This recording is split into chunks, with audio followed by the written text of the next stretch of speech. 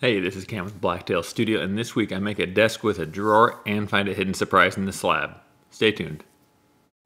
This build started off kind of interesting because I got this really cool, highly figured, tons of color, amazing walnut slab from Goby Walnut there on the left, but I decided it needed a small accent piece on the right, so I had to go buy that big, kind of bland looking piece because it fit the contour just perfect and the color was really, really close. The slab on the left was $250 and the slab on the right was $300. So the piece I'm using only six inches of costs more than the piece that I was making the entire desk out of. If you want to make a desk, I found the perfect size is about 30 inches by 60 inches. And this one wasn't quite long enough. It was about 59 inches and I made it actually slightly larger. So it's about 59 inches by 32 inches. This slab really just clicked together. You can see there's really only one way that edge could have landed on that main slab. So this build went together really quickly. The only thing was it was slightly thicker than the main slab, so I just had to give it a few passes on the planer. And this is a Grizzly 20 inch planer, has a helical head, which is more than enough to remove the material needed on this small piece. You could even use a benchtop planer for a project like this. Overall, like I said, went pretty easy. I'm using a Porter cable restorer and a nylon wheel just to remove all of the kind of strands and little bits of bark that are left, making sure I get a good solid epoxy bond when I make that pour. People ask if I'm able to reuse my molds, and the answer is yeah, usually. I only had to remove the sides. You can see they get a little bit chipped up and broken off from the last table build, but I can always make a smaller table from them. So usually get about two or three builds per table because I have to keep cutting the size down until they're eventually too small to use on a project. Sealing the edges or not sealing the edges seems to be a really hot topic issue in the epoxy table world right now. I know the Black Forest guys came out with a video saying never to seal your edges because they had some tables that came apart after sealing their edges. And I totally respect that. I know Dylan pretty well. I've talked to him about this actually quite a while before he came out with that video. I still seal both sides of my slab. One reason you want to seal the top and the bottom is because when you make your pour and the epoxy goes underneath, the top can potentially warp from absorbing moisture from the air. I also seal my sides because I use this black epoxy and it can really, really uh, soak in there and stain the wood.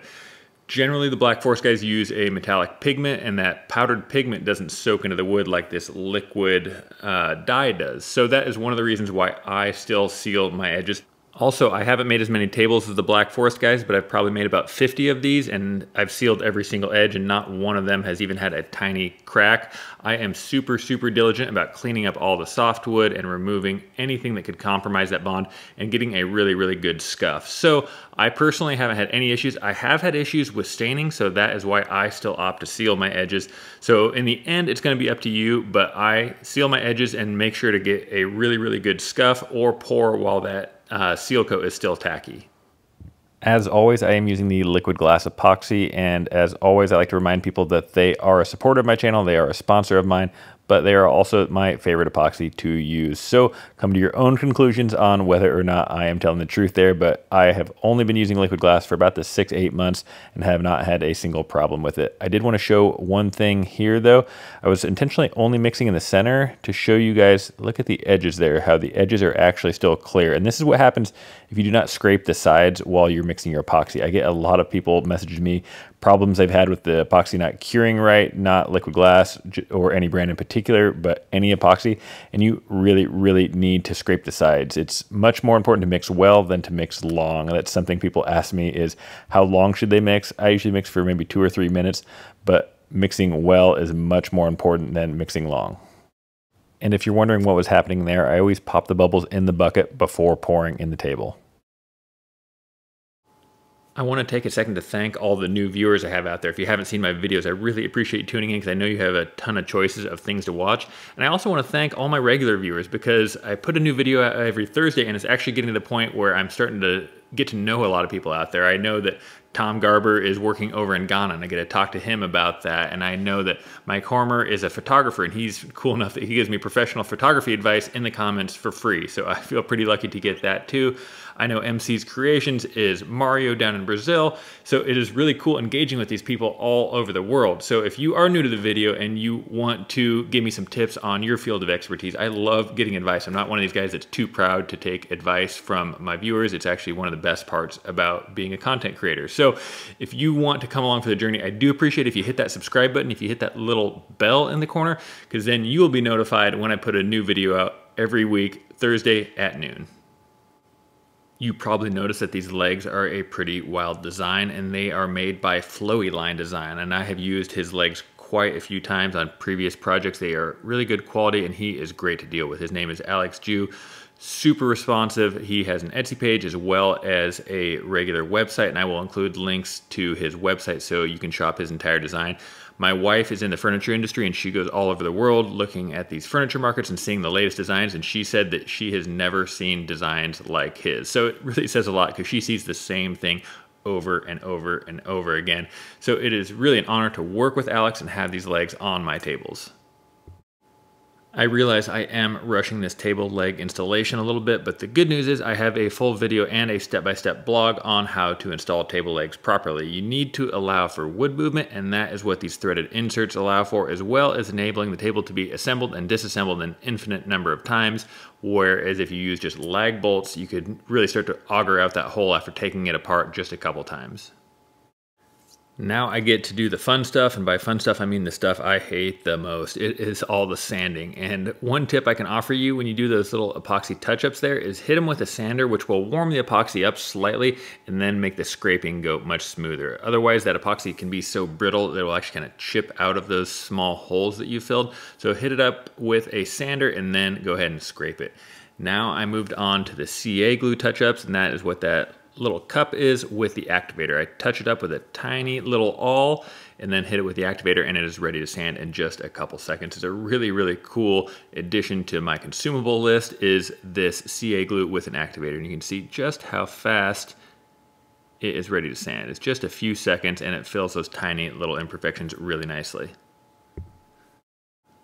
One of the reasons I like making desks so much is that they are so easy to move around. Unlike a 10 foot table that about crushed me a few weeks ago, this one I can maneuver pretty easily. You can see there I'm using a photography light to do all my inspections so you can really, really see any imperfections. Those photography lights are really generally cheaper than shop lights and they work so much better. They're battery powered so you can take them anywhere and the color is better, the brightness is better. So don't use a shop light, use a photography light. Once again, I am kind of rushing this finish process in this video here, but once again, I have a full blog and a full video on a step-by-step -step process to apply the finish exactly as I'm going to apply it here. So I will include a link to that in the video description below. If you have any questions that aren't answered in that video or this video, definitely ask me in the comments below. If you have any additional questions, I also have started offering video consultations where I will meet with you via Skype and we can go over whatever it is you want to go over, whether it's finishing, marketing, how to build your social media pages, anything you want to talk about. This was actually a cool little surprise. These were actually two bullets from the middle of the tree that were exposed when we were planing it up at Creative Woodworking. So kind of a neat little thing that I decided to leave in the table. I am constantly trying to improve my skill and improve the products I use. I'm always reevaluating other epoxies. Even though I'm sponsored by Liquid Glass, I want to make sure I'm using the best product. The same goes for finish. I have been using Rubio Monocoat lately. I am not sponsored by them whatsoever. They don't even send me free product, although I feel like they should at least do that. Rubio, are you listening? But for now, I just actually really like the product. I love the way it looks. I love the protection I get from it. It doesn't mean that I won't find a better finish someday. It won't doesn't mean I won't find a better way to apply it. I am always trying to get better. So I know I used to use a lot of Osmo. I've used some other finishes too. This is the best one of all the ones I found currently, and I will continue to research, continue to try to find the best ones. I luckily have the budget that I can experiment with some of these kind of more expensive finishes, whereas most of you out there can't really afford to spend a hundred bucks on a can of finish just to see if it's better than another hundred dollar can of finish. So Rubio is a great finish. I love it. I have had a lot of success. I don't have any intention of stop using it, but I'm gonna keep continuing to look and see what else is out there.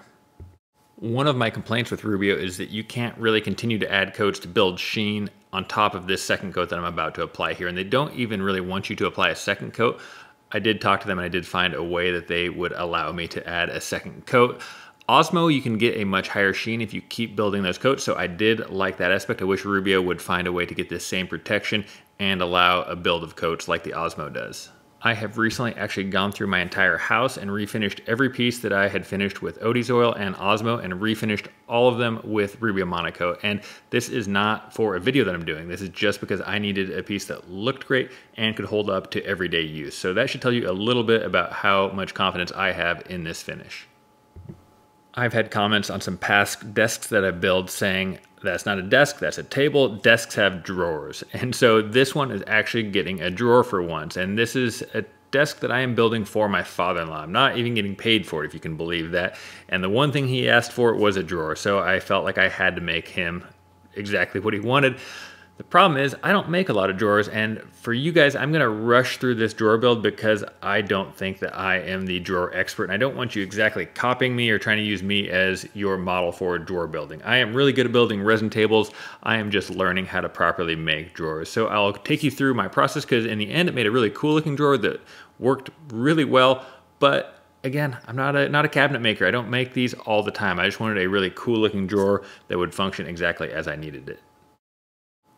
I was going for kind of a particular look. And so what I did was I cut three sides that were all the same height and thickness. And then I had one kind of really thick bullnose piece and you'll understand why I made it so oversized in a minute or two. You can see here, I'm just running a quarter inch dado through all four pieces. So this is gonna give that plywood there somewhere to sit.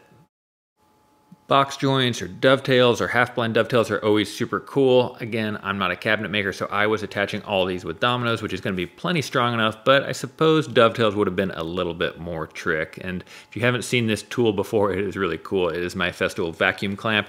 It enables me to kind of work a lot more flexibly, able to spin these around, up and down, get the sides and the ends really easily instead of having to clamp each piece down individually. It does speed up the work quite a bit anytime you're doing a glue up that is like this, where you have these sharp 90 degree corners, whether it's for a drawer or a table leg or anything else, it is really worth it to take the time and properly tape everything off. You can see there that I have everything cut with an X-Acto knife. I actually used my Japanese marking knife, but an X-Acto knife will work just as well.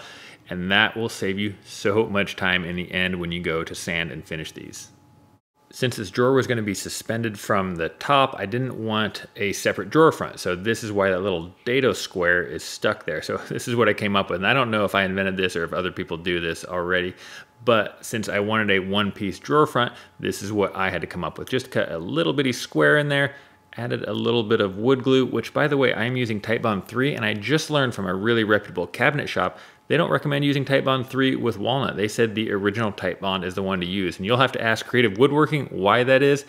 But they said that this Titebond 3 has been known to fail and the really, really high-end shops use the original Titebond. And I'd actually posted that on my Instagram and I got a ton of people saying that they've never had a problem with Titebond 3 and it works great. And I personally have never had a problem with Titebond 3. However, I did get quite a few messages from people that said that they have had quite a few failures on their cutting boards with Titebond 3. So I am going to pivot and start using the Titebond original when gluing up this walnut. What turned out to be trickier than I thought was going to be attaching these drawer slides to the underside of this slab because I originally wanted a really cool undermount hidden push to open soft close trick drawer slide and apparently that's not a thing in the drawer slide world because most of the time they go in cabinets and they're undermount to something solid underneath not hung down from a slab like this. So I had to kind of pirate some brackets off of one drawer slide and attach them to another drawer slide that was actually a soft close. So in the end, I didn't love that you can see the drawer slides from the side. You can see underneath, it doesn't look great. You don't see them a lot from the sides. I'll show you some videos of me opening and closing here in a second, but this is the best that I could do. And they are a little bit hard to open because it has that soft close aspect, so don't love that either, but it's really even, it's really smooth. Action on it works great, but I was hoping for something a little bit better in terms of that hidden aspect and maybe a push to open. I get a fair amount of questions on how I take my photos, and I use a method called light painting. It is definitely not something I invented, but it is a pretty cool technique that enables a guy like me in a garage to get photos like this. So if you want to know how I take my photos, I made a video about a year or so ago. It's pretty boring video if I'm being honest, but it is pretty informative. So I will include a link to that in the video description below. Also, these legs by Flowy Line photographed really nicely because they are in a really cool flat black. So thanks so much to Flowy Line for supplying the legs to this project. All right, it is that time again. This week, start your question or comment with the project that you want to see next. I feel like I make too many of these epoxy table videos, but you guys keep watching them. So if you want to see more, I will keep making them. But start your question or comment with the project you want to see next, and that way I will know you watched the entire video, and I promise I will answer all of your questions first. As always, thanks so much. Please subscribe for more videos just like this one. Have a great week.